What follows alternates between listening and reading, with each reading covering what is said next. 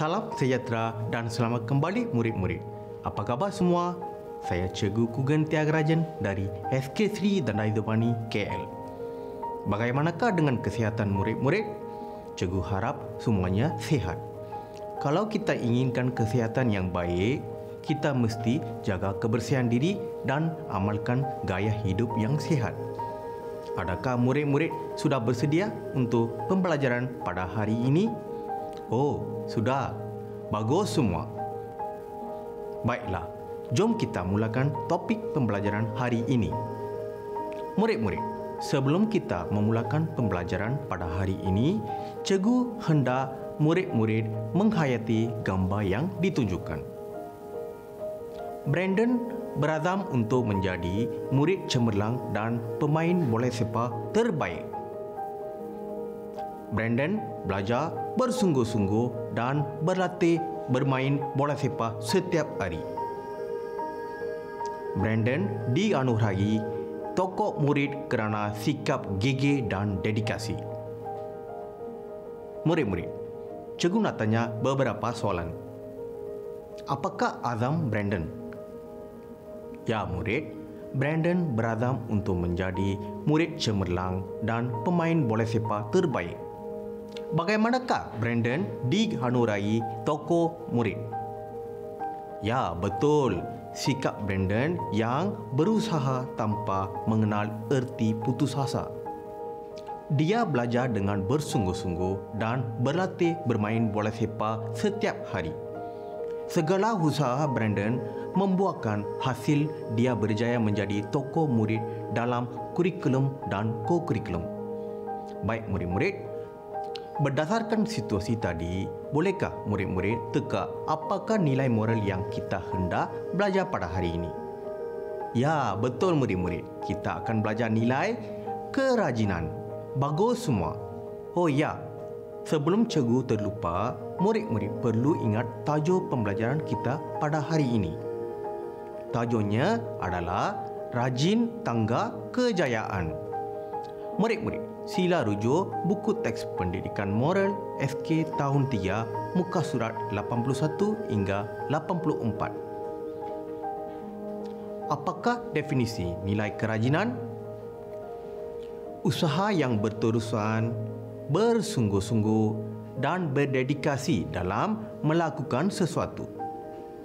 Setelah menghayati definisi kerajinan, jom kita melihat pada ciri-ciri nilai kerajinan. Bersikap tidak berputus asa apabila melakukan sesuatu dan sikap dedikasi dan bersungguh-sungguh untuk mencapai kecemerlangan dalam pembelajaran.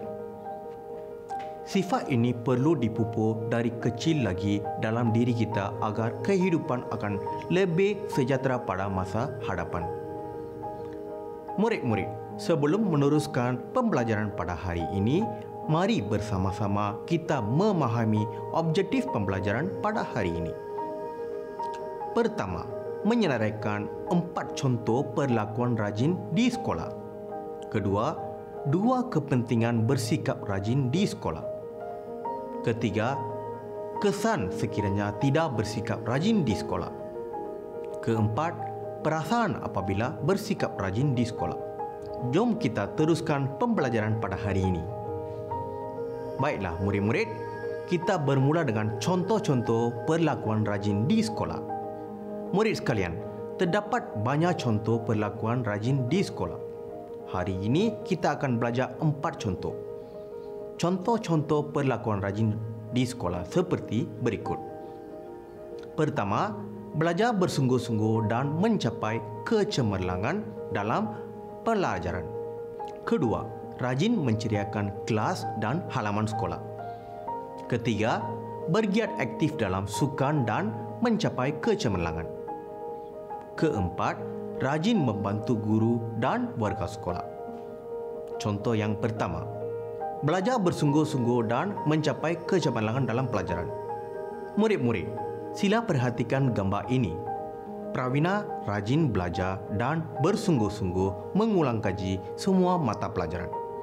Dia mendapat keputusan yang cemerlang dalam peperiksaan akhir tahun. sikap rajin Pravina dipuji oleh guru kelasnya. Apakah sikap yang ditunjukkan oleh Pravina? Ya kak, bagus semua. Ya murid-murid, Pravina menunjukkan sikap rajin dan bersungguh-sungguh dalam pembelajaran. Warga sekolah akan berasa bangga dan gembira apabila kita rajin belajar dan cemerlang dalam pendidikan. Contoh yang kedua, rajin menceriakan kelas dan halaman sekolah. Murid-murid, sila perhatikan gambar ini. Beberapa orang murid membentuk kumpulan untuk menceriakan kelas dan halaman sekolah mereka rajin membersihkan dan menceriakan kelas dan kawasan halaman sekolah. Hasilnya, kawasan sekolah menjadi bersih dan ceria. Murid-murid, apakah sikap yang boleh dikaitkan dengan situasi tadi? Ya, betul murid-murid. Nilai kerajinan. Kumpulan murid itu rajin membersihkan kelas dan halaman sekolah. Sikap rajin perlu untuk mencapai sesuatu objektif. Contoh ketiga pula, bergiat aktif dalam sukan dan mencapai kecemerlangan. Murid-murid, mari kita menghayati gambar situasi ini. Sekumpulan murid berlatih dengan bersungguh-sungguh permainan bola sepak tanpa putus asa.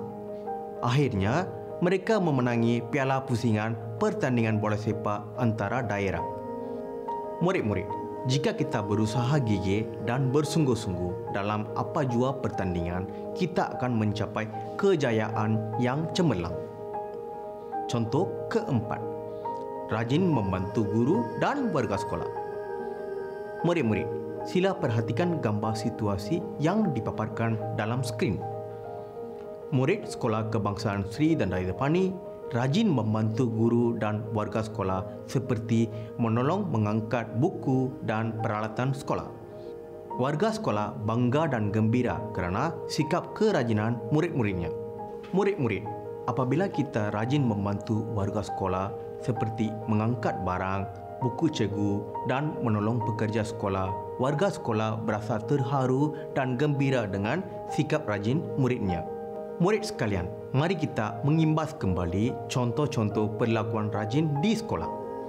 Pertama, belajar bersungguh-sungguh dan mencapai kecemerlangan dalam pelajaran. Kedua, rajin menceriakan kelas dan halaman sekolah. Ketiga, bergiat aktif dalam sukan dan mencapai kecemerlangan. Keempat, rajin membantu guru dan warga sekolah. Murid sekalian, bolehkah memberikan contoh-contoh perlakuan rajin yang lain di sekolah? Jawapannya, rajin menyusun buku di rak pusat sumber. Rajin mengulang kaji semua mata pelajaran tanpa harahan. Rajin mengemas stor sukan. Rajin membuat latihan dan kerja rumah yang diberikan oleh cikgu. Rajin membantu guru. Murid-murid, mengapakah kita perlu bersikap rajin? Terdapat banyak kepentingan sikap rajin di sekolah. Murid-murid, hari ini kita akan belajar beberapa kepentingan sikap rajin di sekolah. Baik murid-murid, kepentingan yang pertama. Jika kita rajin, kita akan cemerlang dalam akademik. Murid-murid, sila perhatikan gambar situasi ini. Nisha seorang murid yang rajin belajar. Dia bersungguh-sungguh menyiapkan latihan yang diberikan oleh guru-guru di samping rajin mengulang kaji pelajaran. Nisha mendapat keputusan yang cemerlang dalam peperiksaan akhir tahun. Apabila kita rajin berusaha untuk belajar, sudah tentu kita akan mencapai kecemerlangan dalam akademik. Kepentingan yang seterusnya ialah jika kita rajin, kita akan cemerlang dalam permainan dan ko-kurikulum. Murid-murid, sila perhatikan gambar situasi ini. Empat murid SKC dan Daya Depani menyertai pertandingan badminton peringkat daerah Sentul. Mereka berlatih dengan gigih serta tidak berputus asa. Akhirnya, mereka memenangi tempat pertama dalam pertandingan badminton peringkat daerah guru besar dan warga sekolah berasa bangga dengan pencapaian mereka. apabila kita menyertai pertandingan mewakili sekolah dan memenangi hadiah, hasil usaha gigi dan tidak berputus asa akan membuahkan kita memenangi pertandingan. Kerajinan memang penting untuk memperoleh kejayaan dalam apa jua pertandingan. Kepentingan ketiga dapat mewujudkan suasana sekolah yang ceria dan selesa. Seterusnya, mari kita perhatikan gambar situasi berikut. Beberapa orang murid sedang membersihkan kawasan sekolah. Mereka membuang sampah ke dalam tong sampah dan menceriakan halaman kawasan sekolah. Kerajinan murid-murid itu telah menghasilkan halaman sekolah yang bersih dan ceria. Murid-murid, apabila kita rajin menyumbang tenaga kepada pihak sekolah untuk keceriaan dan persekitaran sekolah, perkara tersebut dapat menyerlakan suasana sekolah yang lebih selesa dan kondusif. Rajin membuat sesuatu perkara akan mendatangkan hasil yang baik. Murid sekalian, bolehkah murid-murid menyenaraikan mengapa kita perlu memiliki sikap kerajinan? Jawapannya, pertama, cemerlang dalam akademik. Kedua, cemerlang dalam permainan dan co-curriculum. Ketiga, dapat mewujudkan suasana sekolah ceria dan selesa. Murid-murid, apakah kesan sekiranya kita tidak bersikap rajin di sekolah? Jawapannya, pertama, tidak mendapat keputusan yang cemerlang dalam akademik. Ya, murid, disebabkan tidak bersikap rajin, murid-murid tidak berusaha dengan bersungguh-sungguh, prestasi dalam pembelajaran akan merosot. Kedua, tidak mendapat pencapaian yang baik dalam sukan ataupun permainan. Apabila kita tidak berusaha gigih serta berputus asa menyebabkan pencapaian yang rendah dalam permainan atau sukan. Ketiga, suasana sekolah tidak bersih dan tidak ceria. Murid, akibat tidak sikap rajin di kalangan murid akan menyebabkan kawasan halaman sekolah, bilik darjah tidak bersih dan tidak ceria. Warga sekolah berasa tidak selesa. Keadaan tanpa sikap rajin mengakibatkan murid-murid tidak selesa datang ke sekolah.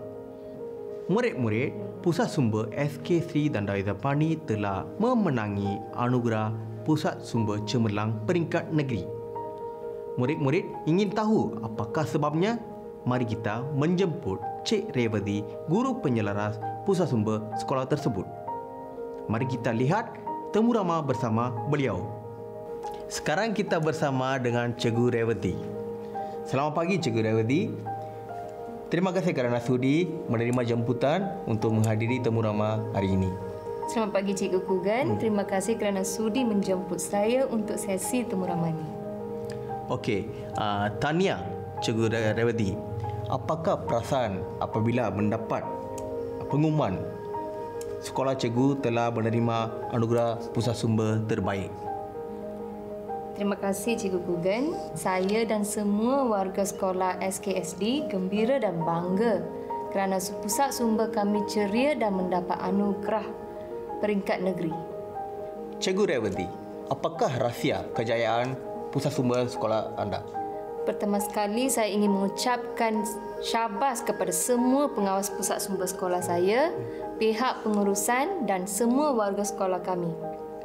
Pengawas-pengawas pusat sumber sering membantu saya menghias pusat sumber, membaik pulih buku yang rosak di pusat sumber dan membantu saya di kaunter sirkulasi.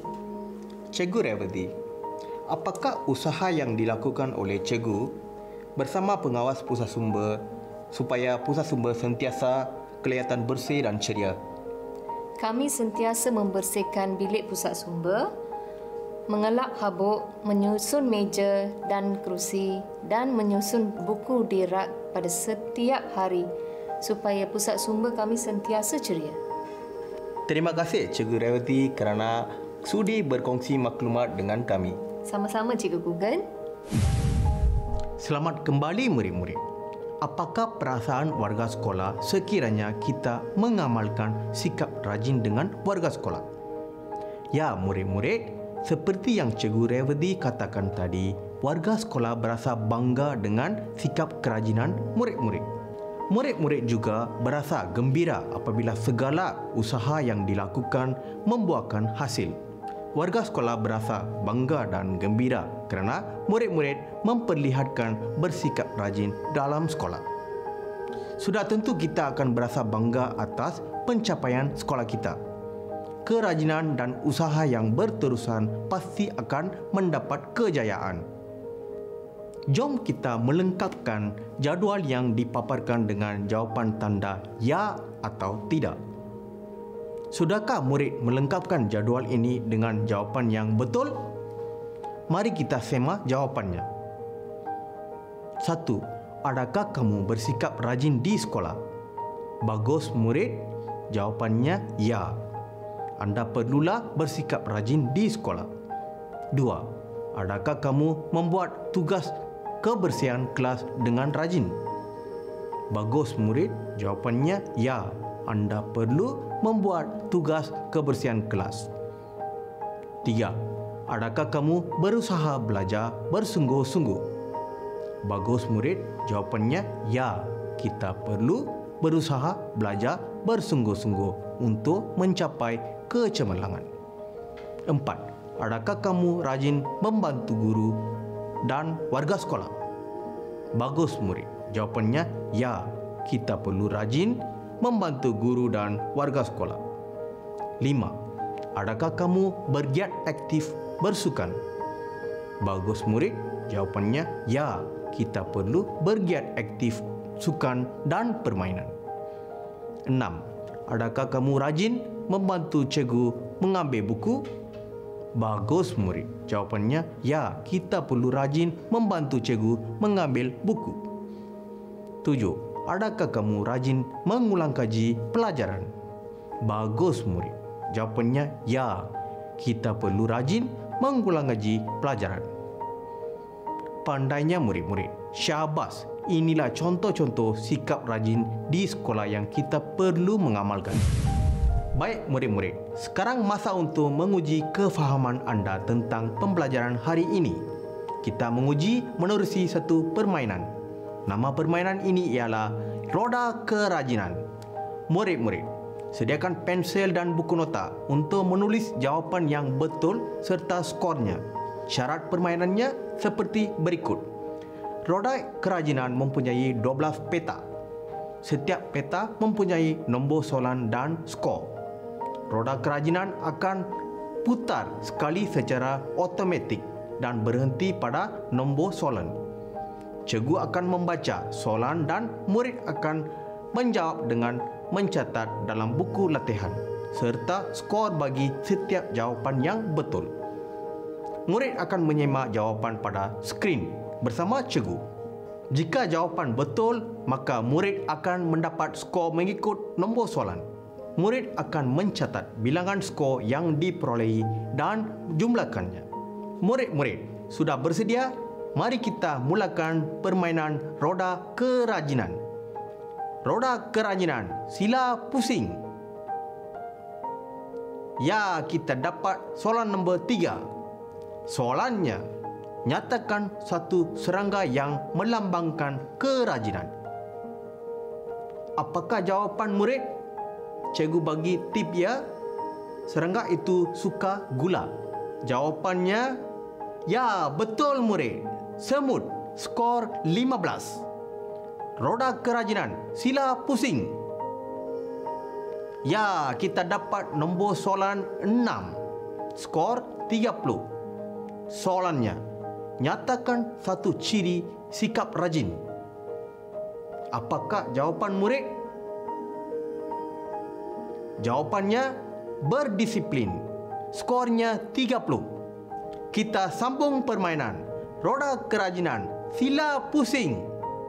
Ah, kita dapat nombor soalan 1. Skornya 5. Soalannya nyatakan satu perasaan bersikap rajin di sekolah. A. Bangga B. Sedih Apakah jawapan murid? Jawapannya A. Bangga. Skornya 5. Roda kerajinan sila pusing. Ye, kita dapat nombor soalan 12. Skornya paling tinggi sebanyak 60. Soalannya, nyatakan satu cara untuk mendapat markah yang tinggi dalam peperiksaan. Nilai skor yang paling tinggi jika murid menjawab soalan ini dengan betul. Jawapannya mengulang kaji pelajaran. Skornya 60. Siapa dapat skor 60? Syabas murid-murid. Kita sambung lagi. Roda kerajinan. Sila pusing. Ye, kita dapat nombor soalan 10. Skornya 50. Tinggi juga. Soalannya, nyatakan kesan rajin membantu guru di sekolah. Jawapannya, disayangi guru. Skornya 50. Bagus murid-murid. Skornya 50 jika jawapannya betul. Seterusnya, roda kerajinan sila pusing. Ye, kita dapat nombor soalan 9. Skornya 45. Soalannya, nyatakan kesan rajin mengemas bilik darjah. Apakah jawapan murid? Jawapannya, bilik darjah bersih. Catat skor 45. Baik, roda kerajinan. Sila pusing. Ah, kita dapat nombor soalan 7. Skor bernilai 35. Soalannya, nyatakan serangga terbang yang melambangkan kerajinan. Cikgu bagi tip ya.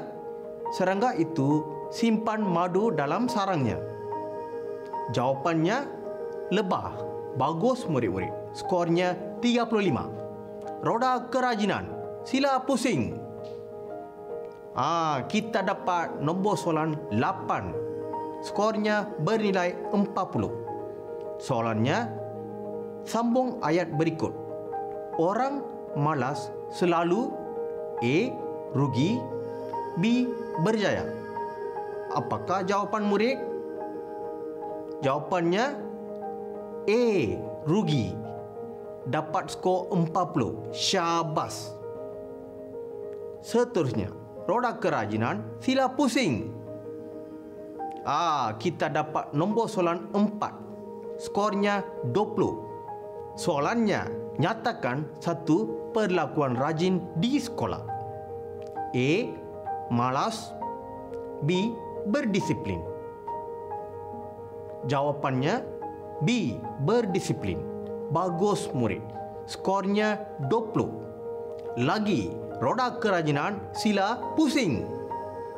Ah, kita dapat nombor soalan 2 Nilainya 10 Soalannya Nyatakan satu kepentingan bersikap rajin di sekolah.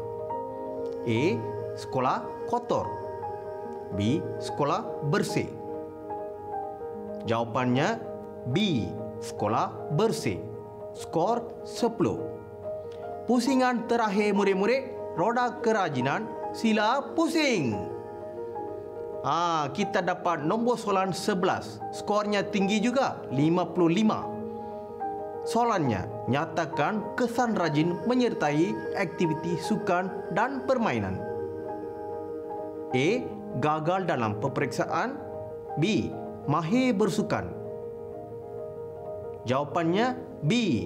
Mahir bersukan. Skornya 55 Pandai murid-murid Permainan telah pun tamat. Sekarang jumlahkan skor anda. Sila kira skor anda. Siapa dapat skor tertinggi Bermakna dia adalah seorang murid yang rajin sekali. Tanya murid-murid Jom kita menjawab beberapa soalan sebelum mengakhiri kelas pada hari ini. Jawab soalan berdasarkan gambar ini. Nyatakan lima aktiviti murid-murid di dalam gambar di atas yang mengamalkan sikap rajin. Adakah jawapan murid semua betul? Kita sema jawapan. A. Menyapu sampah. B. Mengelak tingkap. C. Menyusun meja. D. Menyiram pokok bunga. E. Mengelap kipas. Nyatakan akibat jika murid-murid tersebut bersikap malas. Jawapannya, kelas akan menjadi kotor. Soalan seterusnya, gariskan jawapan yang betul. Satu, kamu berasa sangat gembira, sedih apabila guru memuji kamu seorang yang rajin. Jawapannya, gembira. Dua, kamu berasa kecewa, gembira apabila kamu mendapat membantu rakan kamu yang berada dalam kesusahan. Jawapannya, gembira. Tiga, kamu perlu bersikap rajin, malas jika kamu hendak berjaya dalam pelajaran dengan cemerlang. Jawapannya, rajin. Cikgu Anis berasa sangat kecewa, bangga kerana murid-muridnya sangat rajin belajar. Jawapannya, bangga. Lima, Meme berasa menyesal, gembira kerana tidak belajar bersungguh-sungguh yang menyebabkan dia memperoleh keputusan yang kurang memuaskan dalam peperiksaan. Jawapannya, menyesal. Adakah jawapan murid semua betul? Bagus semua. Baiklah murid-murid, kita sudah tiba ke penghujung pembelajaran pada hari ini. Sepanjang sesi pembelajaran pada hari ini, kita telah belajar contoh-contoh kepentingan dan perlakuan sikap rajin di sekolah. Dan juga belajar perasaan apabila bersikap rajin di sekolah. Sebagai kesimpulan, murid-murid harus bersikap rajin di sekolah untuk berjaya dalam hidup. Sikap rajin, berusaha dan gigih akan mencapai kejayaan. Yang penting murid-murid amalkan budaya kerajinan di sekolah. Murid-murid tidak mudah berputus asa dalam apa jua keadaan dan terus berusaha untuk mencapai kecemerlangan. Dengan ini, cikgu ucapkan terima kasih kepada murid-murid yang sudi bersama sehingga ke akhir pelajaran hari ini. Jumpa lagi. Sekian terima kasih. Bye.